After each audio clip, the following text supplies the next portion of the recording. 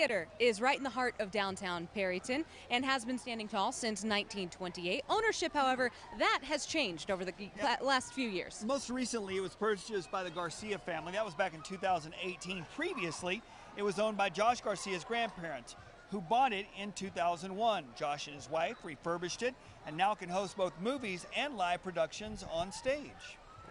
we didn't realize we were going to be able to afford to go digital, so the original stage to this building was been behind, hidden in the, behind the screen.